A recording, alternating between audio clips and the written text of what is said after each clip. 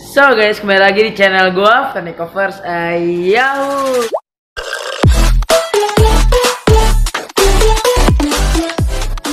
So guys, hari ini gue mau kasih tahu ke kalian semua bagaimana sih caranya agar akuarium tetap terlihat jernih selama beberapa bulan atau lebih guys.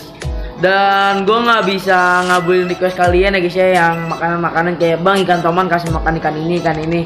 Karena uang gue lagi kosong guys, lagi nggak ada sama sekali. Dan sekarang gue mau buat video uh, tutorial aja ya guys ya. Tutorial bagaimana caranya agar akuarium tetap jernih ya guys ya. Karena bagi semua penghobi ikan pasti mau kan agar akuariumnya tetap terlihat jernih ya guys ya. Karena itu penting banget biar akuarium tetap terlihat indah ya guys ya. Oke daripada lama-lama mending gue kasih lihat ya guys ya bagaimana caranya ya guys ya. Oke Asia.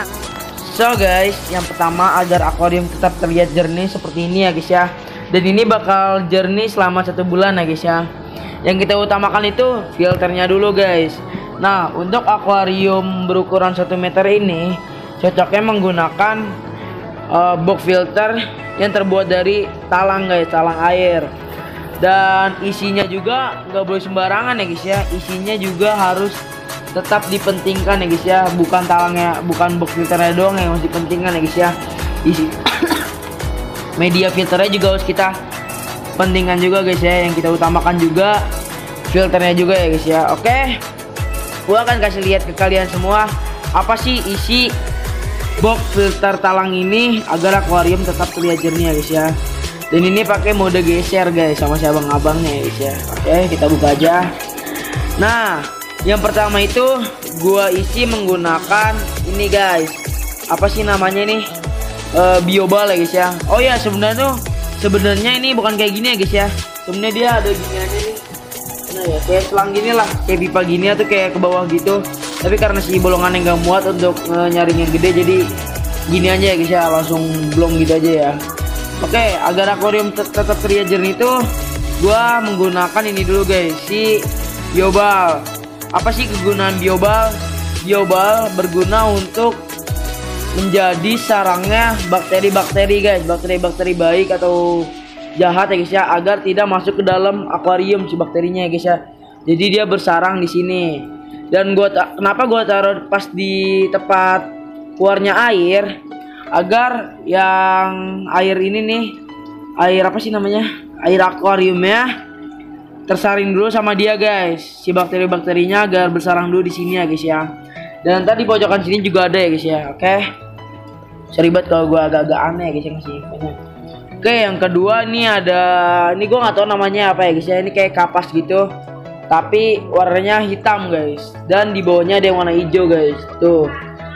Nah ini berfungsi yang atasnya dulu ya yang hitamnya dulu berfungsi untuk menyaring kotoran yang kasar-kasar guys. Kayak duri-duri ikan yang ikan-ikan mas ya kan duri-durinya sisik-sisiknya. Yang penting yang kasar-kasar kayak kotoran si ikan-ikannya ya guys ya. Nah kalau yang hijau berfungsi untuk menyaring kotoran yang halus guys. Kayak debu-debu yang nggak saring di kasar ini ya guys ya. Nggak saring di sini ntar bakal saring di sini guys. Tuh ya kan? Nah di bawah kapas hijau ini ada lagi guys nih di bawah ini ada ini guys apa namanya? Karang jahe. Kita buka ya guys ya. Bisa nggak ya? Tuh kelihatan nggak? Kelihatan ya? Susah sih. Di dalam situ ada karang jahe guys. Ini karang jahenya keseluruhan ya guys ya. Dari sini sampai dari sini. Ini dari sini nih nih. Sampai sini ya guys ya. Karang jahenya full. Nah karang jahe itu berfungsi untuk uh, apa namanya menyerap kotoran-kotoran ya guys ya menyerap warna kotoran dari akuariumnya guys jadi kalau akuariumnya ada apa sih warnanya kecoklatan kecoklatan atau baru dikasih obat biru Nah, ntar warna itu bakal kesaring di karang jahe, guys. Dan kotorannya juga bakal kesaring di karang jahe. Jadi airnya bakal jernih lagi ya, guys ya. Dan ini baru gua kasih obat biru. Ntar beberapa menit akan kembali jernih karena si karang jahenya itu. Oke, guys. Kita pindah ke skat kedua, guys. Ini skat pertama, kita ke skat yang kedua. Di skat kedua ini ada tiga biobal. Ini biobalnya gua masukin ke dalam, gua bablas ke dalam agar bakteri yang belum bikin sarang di yang biobal ini bakal sarang di biobal yang ini ya guys ya. Dan ini juga ada apa sih namanya nih? Bioring ya? Nah, ini kan biobal. Biobal. Ini bioring guys. Gua nggak tahu ini fungsinya apa ya Ferniko gimana sih? Kan lu yang ngasih tutorialnya. Kok lu yang nggak tahu fungsinya? Aduh, aduh. Jadi kalian bisa komen di bawah apa sih fungsinya bioring ya guys ya. Tapi selama gue pakai ini nih akuarium nggak bakal kotor lagi guys. Dulu kan gue cuma pakai karang jahe sama kapas ya guys ya. Tapi lama-lama tetap kotor. Tapi setelah pakai ini nih bioring, gak kotor-kotor guys. Gak kotor-kotor selama beberapa bulan ya guys ya. Oke, kita pindah ke sini. Di sini ada biobal lagi ya guys ya. Biobal ini berfungsi untuk ngainin bakteri juga ya guys ya. Jadi yang bakteri belum kesaring di dua talang ini dia bakal bersarang di sini ya guys ya. Ini lebih banyak ya tuh. Dan sini juga ada kerang jahe, kerang jahe. Nah sekarang gue mau sebutin harga-harga si media filternya ini ya guys ya. Nah kalau box filternya ini harganya pas itu beli 100 ribu ya guys ya kalau si biobalnya ini berapa ya? 35 eh enggak. 15 ribu. Si kapasnya ini 15 ribu juga 15 ribu. Karang jahenya 30 ribu. Si bioringnya ini 35 oh, ini tetap sama ya guys ya? Oke. Yang kedua agar akuarium tetap jernih gua menggunakan obat guys. Nih. Obat penjernih air. Jadi ini harus pakai air lama ya guys ya. Nggak boleh pakai air baru. Kalau air baru ikannya bakal mati guys. Jadi pas baru dikuras jangan langsung dikasih ini guys. Tunggu tiga hari dulu. Pas tiga hari baru kasih ini ya guys ya. Kata cabang abangnya sih ya. Nah ini untuk ngejernihin air guys. Jadi kalau pas kasih makan nih kan kasih makan bakal kotor gitu kan bakal keruh. Nah kalian pakai ini nih. Ntar bakal jernih lagi guys. Nah ini juga nih. Ini juga tapi ini obatnya ini metalin blue ini sih fungsinya biar gak stres aja ya. Kalau ada air baru air baru nih gua kasih ginian guys. Nih biar ikannya gak stres. Ini juga biar nyembuhin ikan-ikannya nih. Kalau ada yang luka-luka pakai ini bakal sembuh lagi guys. Nah ini harganya cuma 5000 yang ini juga 5000 guys. Nah. Oke. Biar akuariumnya juga terlihat jernih usahakan jangan dikasih makan banyak-banyak guys. Kan biasanya pecinta ikan predator nih ya. Kasih makannya biasanya nggak teratur gitu ya guys ya. Nah mulai sekarang lu kasihnya harus teratur guys. Biar akuariumnya nggak cepat kotor. Minimal tiga hari sekali ya guys ya makanannya. Nah kalau ikan sebanyak ini nih biasanya gua kasih makan 20 ekor ikan ya 20 ikan ikan mas untuk tiga hari sekali guys biar teratur. Juga airnya biar nggak cepet kotor guys. Mau kan? Jadi jernih ya kan? Dan ini airnya bakal kuat sebulan guys ya. Pas itu gue pernah hampir sebulan lebih ya guys ya. Hampir sebulan setengah. Tapi karena udah lumayan kotor akhirnya gue bersihin lagi guys. Nah itu cukup sebulan ya guys ya. Kuat lah sebulan ya guys ya. Ninta juga bakal sebulan bakal kuat ya guys ya. Nah di bawahnya sini juga ada karang jahe guys. Nah ini yang bakal nyerap si metalin blue guys kayak pewarnanya itu. Jadi fungsi karang jahe ini untuk menyerap kotoran sama menyerap pewarna guys. Lihat kan karang jahenya berubah jadi kayak ada warna birunya.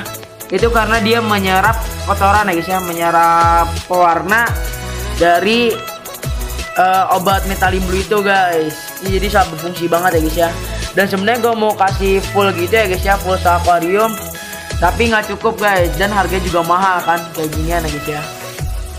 Oke. okay jadi segitu aja guys ya. Uh, tutorialnya agar akuarium tetap terlihat jernih ya guys ya. Agar akuarium tetap terlihat jernih. Itu pertama media filternya itu dulu guys. Media filter harus penting banget. Jangan media filter kapas doang ya guys ya. Itu nggak bakal berfungsi. Kalian harus pakai biobal bio ring karang jahe sama kapas yang hitam hijau itu ya guys ya. Kalau mau lebih bagus sih pakai UV ya guys ya. Tapi UV nya jangan terlalu gini ya guys ya Ntar gue bakal kasih deh tutorialnya ya guys ya cara memasang UV yang benar. Atau kalian bisa lihat di YouTube duluan ya guys ya. Nah yang kedua itu kalian bisa pakai obat-obatan ya guys ya. Tapi harus teratur ya guys ya. Ngasihnya jangan ngasih langsung banyak gitu kan ada uh, peraturannya guys ya. Ada apa sih namanya sih?